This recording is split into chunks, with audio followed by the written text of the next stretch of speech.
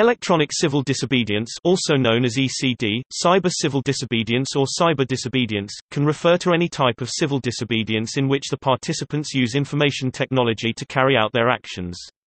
Electronic civil disobedience often involves computers and the Internet and may also be known as hacktivism. The term, electronic civil disobedience, was coined in the critical writings of Critical Art Ensemble a collective of tactical media artists and practitioners, in the seminal 1996 text Electronic Civil Disobedience, and Other Unpopular Ideas.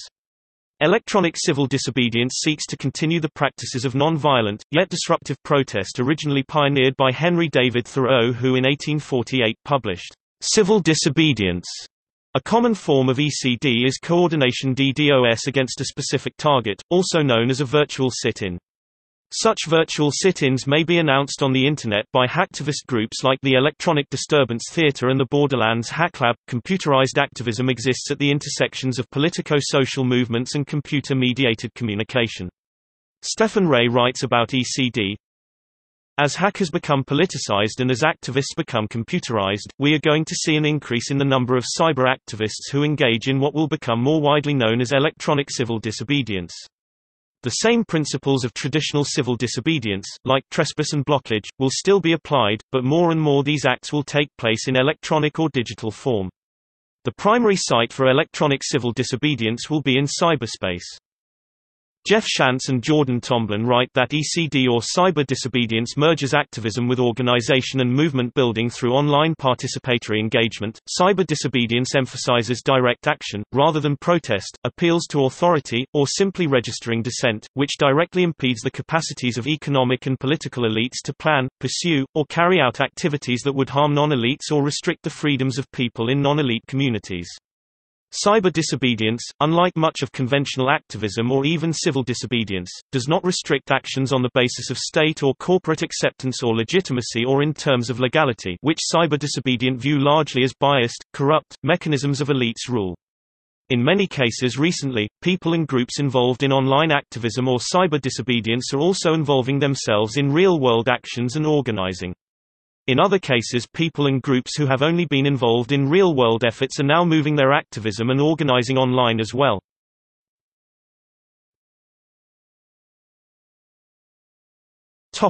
History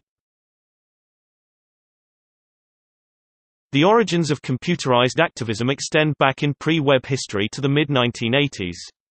Examples include PeaceNet 1986, a newsgroup service, which allowed political activists to communicate across international borders with relative ease and speed using bulletin board systems and email lists.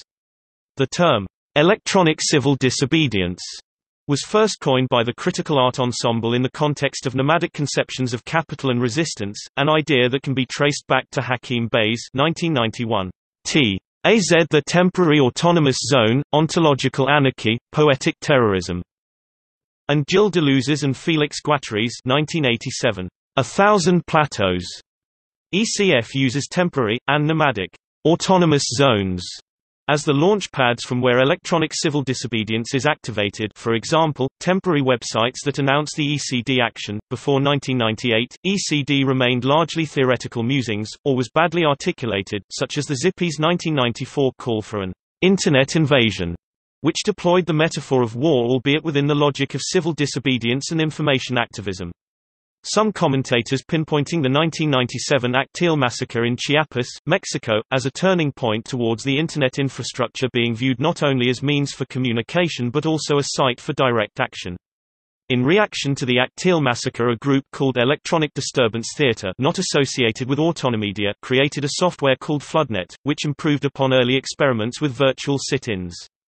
The Electronic Disruption Theatre exhibited its Swarm Project 21 at the Ars Electronica Festival on Information Warfare, where it launched a three-pronged floodnet disturbance against websites of the Mexican presidency, the Frankfurt Stock Exchange, and the Pentagon, in solidarity with the Zapatista Army of National Liberation, against the Mexican government, against the U.S. military, and against a symbol of international capital.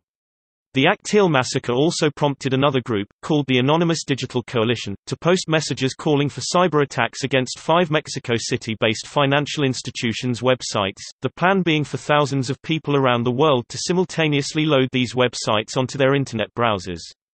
Electro-hippies flooded the World Trade Organization site during the World Trade Organization Ministerial Conference of 1999 protest activity.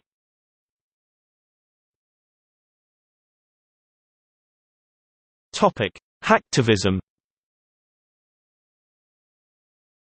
The term electronic civil disobedience and hacktivism may be used synonymously, although some commentators maintain that the difference is that ECD actors don't hide their names, while most hacktivists wish to remain anonymous. Some commentators maintain that ECD uses only legal means, as opposed to illegal actions used by hacktivists. It is also maintained that hacktivism is done by individuals rather than by specific groups. In reality the distinction between ECD and hacktivism is not clear.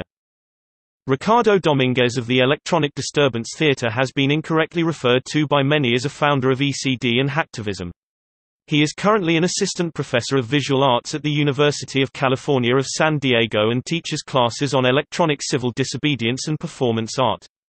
His recent project The Transborder Immigrant Tool is a hacktivist gesture which has received wide media attention and criticism from anti-immigration groups.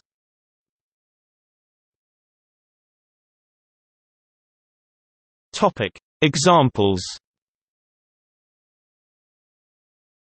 ECD is often open source, non-structured, moves horizontally and non-linearly. For example, virtual sit-ins may be announced on the Internet and participants may have no formal connection with each other, not knowing each other's identity. ECD actors can participate from home, from work, from the university, or from other points of access to the net. Electronic civil disobedience generally involves large numbers of people and may use legal and illegal techniques. For example, a single person reloading a website repeatedly is not illegal, but if enough people do it at the same time it can render the website inaccessible. Another type of electronic civil disobedience is the use of the Internet for publicized and deliberate violations of a law that the protesters take issue with, such as copyright law. Blatant disregard of copyright law by millions of Internet users every day on file-sharing networks might also be considered a form of constant ECD, as the people doing it have decided to simply ignore a law that they disagree with. Topic Intervasion of the UK In order to draw attention to John Major's Criminal Justice Bill, a group of cyber activists staged an event in which they kidnapped 60s counter-cultural hero Timothy Leary at a book launch for Chaos and Cyberculture held on Guy Fawkes Day 1994, and then proceeded to force him to DDoS government websites. Leary called the event an intervasion. The intervasion was preceded by mass email bombing and denial of service attacks against government servers with some success. Although ignored by the mainstream media, the event was reported on Free Radio Berkeley.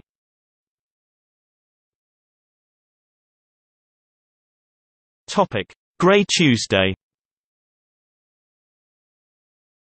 On February 24, 2004, large-scale intentional copyright infringement occurred in an event called Grey Tuesday, a day of coordinated civil disobedience.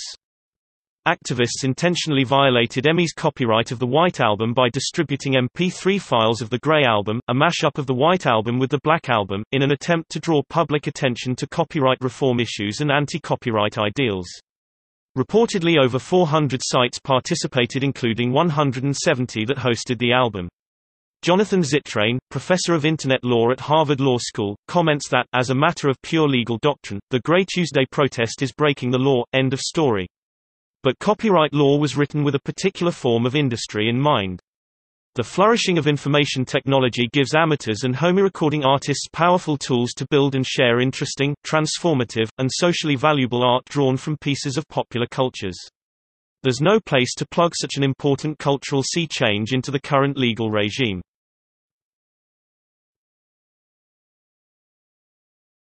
Topic: Border haunt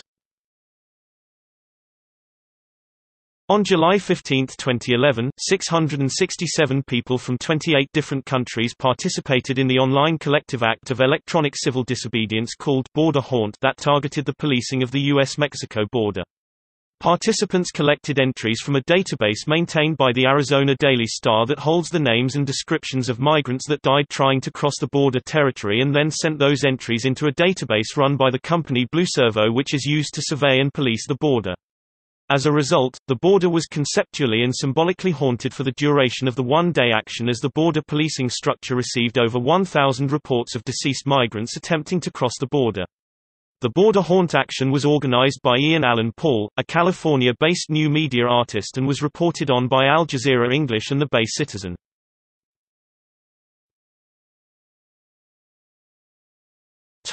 E-graffiti, texts in mourning and action. In response to the political assassination of Zapatista teacher José Luis Solis López alias Galeano, in Chiapas, Mexico, Ian Alan Paul and Ricardo Dominguez developed a new form of electronic civil disobedience that was used as part of a distributed online performance on May 24, 2014 as part of the Week of Action and Day of Remembrance in solidarity with the Zapatista communities. When users logged on to the project website, their web browsers sent mass amounts of page requests to the server of the Mexican President Enrique Peña Nieto, filling their their error logs with lines of text drawn from Don Quixote, communiques from the Zapatista communities, as well as from texts authored by the Critical Art Ensemble. As a kind of e-graffiti and form of electronic civil disobedience, floods of HTTP traffic were sent from around the world as the books and communiques were written onto the error logs of their servers several thousand times by different users.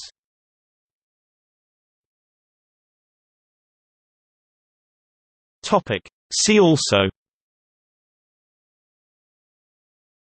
Anonymous group. Anti-copyright. E-democracy. Digital rights. Direct action. Information freedom. Internet vigilantism